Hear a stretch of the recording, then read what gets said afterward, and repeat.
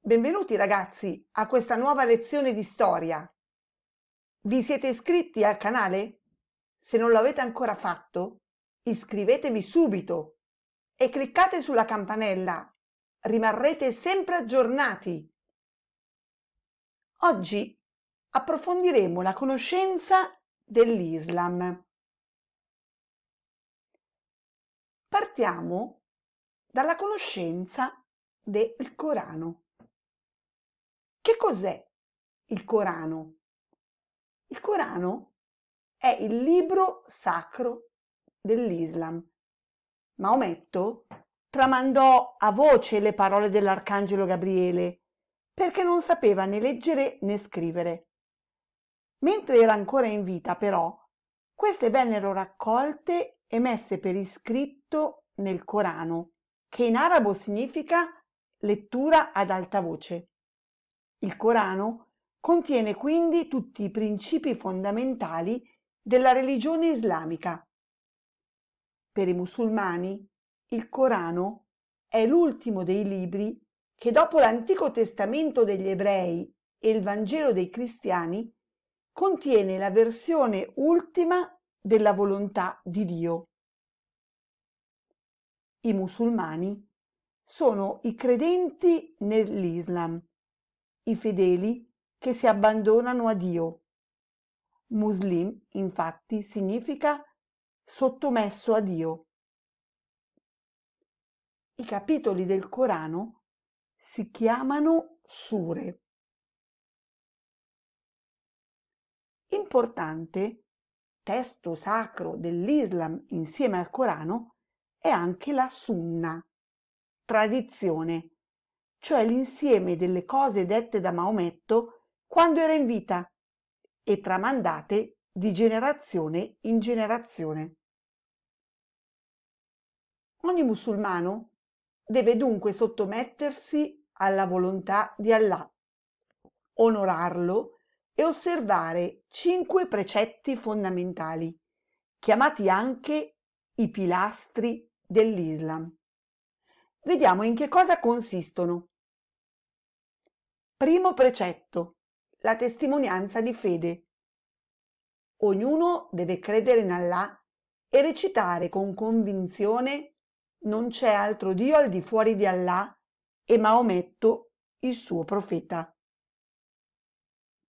Secondo precetto, la preghiera rituale, la preghiera di rito da recitare cinque volte al giorno con lo, sguardo, lo sguardo rivolto verso la città santa della Mecca.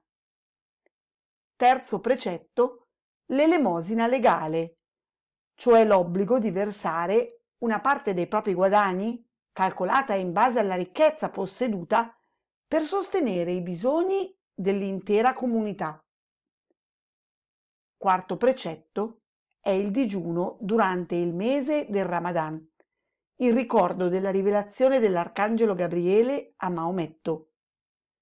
Il Ramadan è il nono mese del calendario islamico e cade ogni anno in una stagione diversa.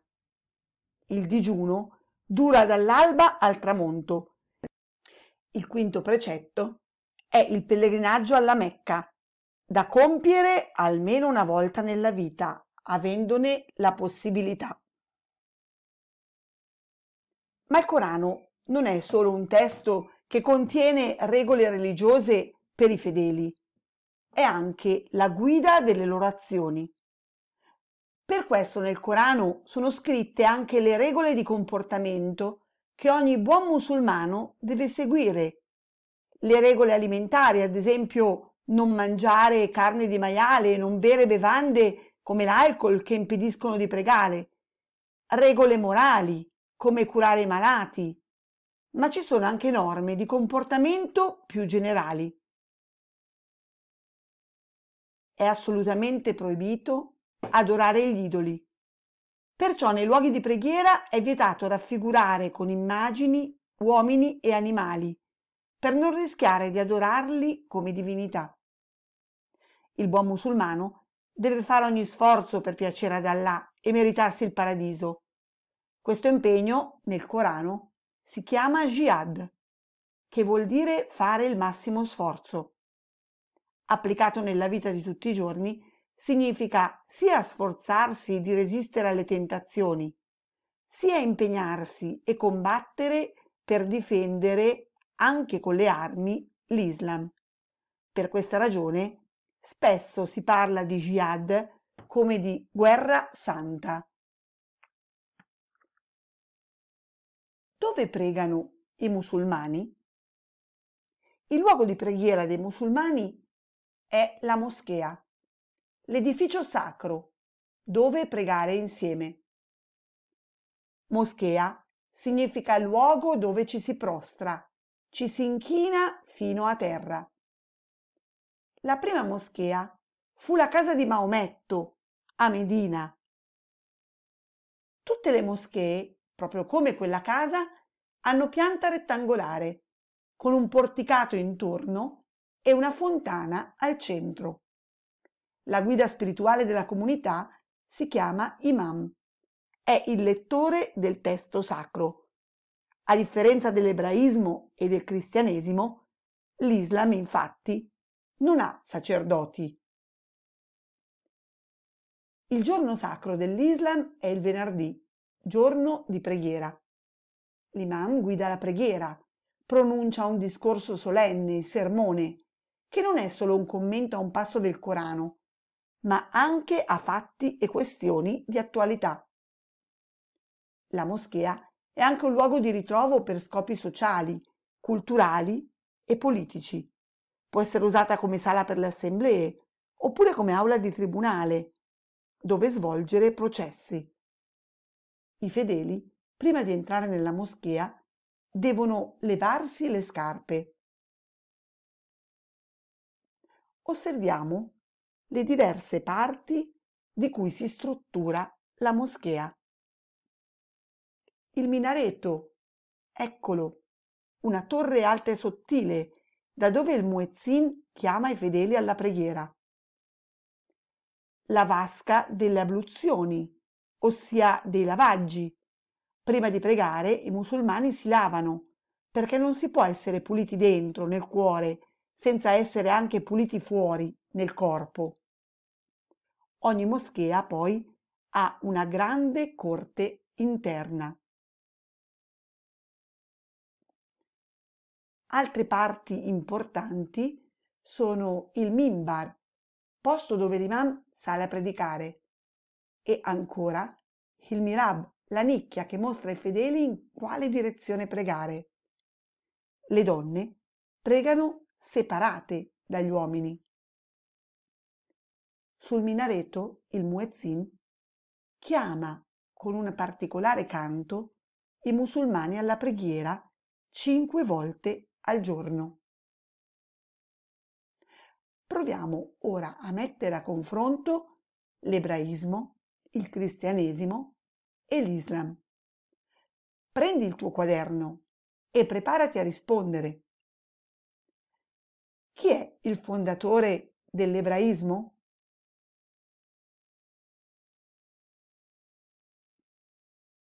Abramo. E del cristianesimo? Gesù, lo ricordi? Ora hai imparato anche chi è il fondatore dell'Islam. Sì, è proprio Maometto.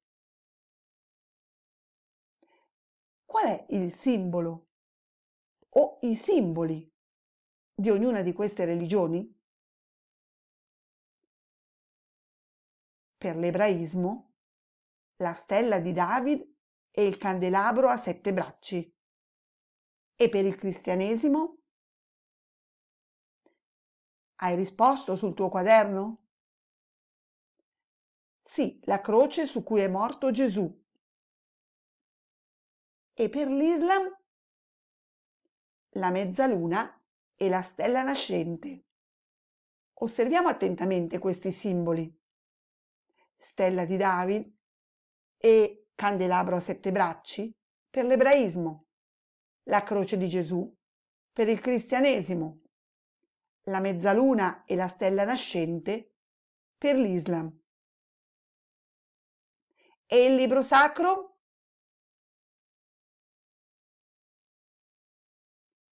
Per l'ebraismo è la Bibbia ebraica, l'Antico Testamento. Per il cristianesimo? La Bibbia cristiana, formata dall'Antico Testamento più il Nuovo Testamento. Il Nuovo Testamento comprende i Vangeli. E per l'Islam? Sì, l'hai imparato. È il Corano. Dove pregano i fedeli? Gli ebrei pregano nella sinagoga. E i cristiani? Certo, nella chiesa. I musulmani? Nella moschea. Bravissimi! Arrivederci ragazzi, alla prossima lezione. Non dimenticate il like. A presto!